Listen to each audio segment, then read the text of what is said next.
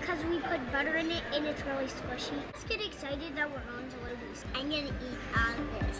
One of the best things we do, um, you know, from top to bottom, bottom to top, is stay engaged with the community, uh, partner with them as much as we can. So we, you know, we're one of the few agencies that have the solid support uh, of, of, the community. You know, we're engaged with homeowners associations, um, schools, uh, our downtown business group right here.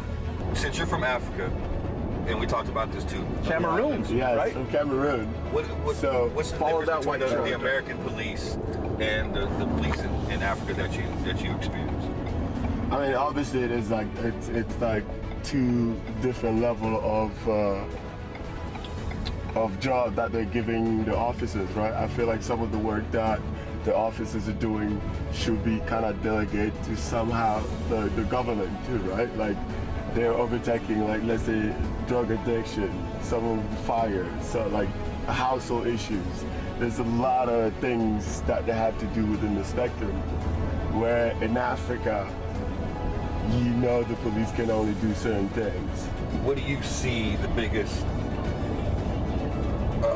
hardest impact that the fentanyl is doing in this community so fast, rapidly, and, and spreading? You know, the Drug Enforcement Agency said, you know, um, the the amount in in the past couple of years, the amount of uh, fentanyl fentanyl-based substances has doubled.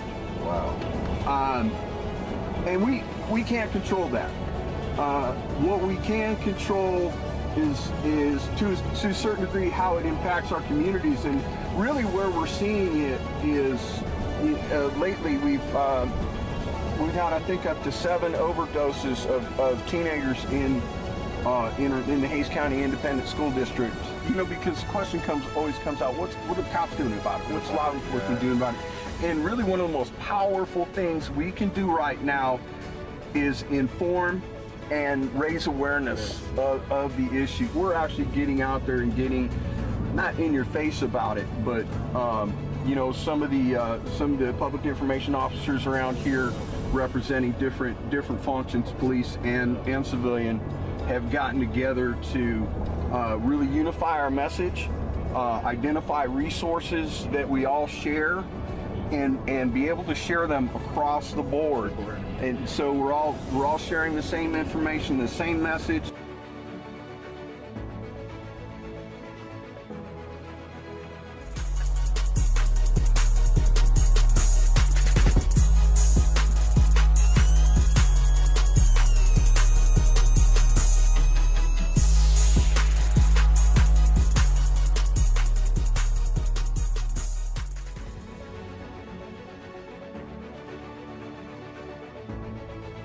It's right here in Johnson High School. That's one of the, one of the reasons I'm here is to talk to you about that.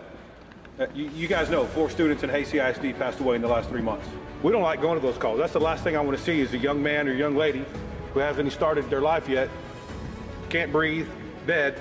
We got to shoot them up with Narcan, praying and hoping that it's going to work.